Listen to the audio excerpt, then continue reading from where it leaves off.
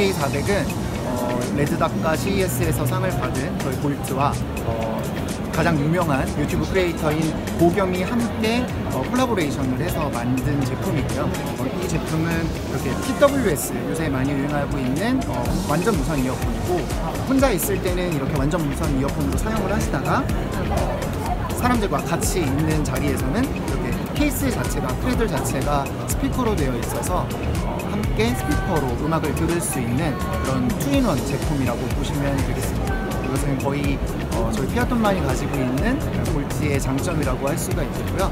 또 이 BK400은 기존에 없었던 포인트 컬러가 들어가 있어서 훨씬 더 예쁜 디자인으로 하실 수 있고 또 보겸의 어, 그런 재미있는 voice prompt가 들어있어서 다른 제품에서는 경험할 수 없는 굉장히 특별한 한정 에디션입니다.